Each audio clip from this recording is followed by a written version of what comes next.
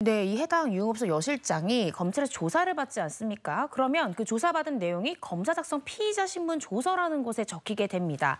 그런데 이 조서를 해당 재판부의 판사가 보려면 증거 능력이라는 것이 취득이 되어야 하는데 그러려면 이 피고인 측에서 이 해당 조서를 증거로 사용됨에 동의를 해야 됩니다.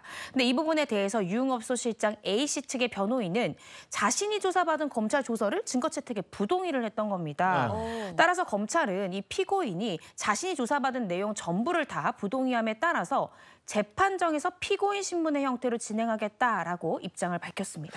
그 증거 채택에 동의하지 않은 이유는 뭐예요?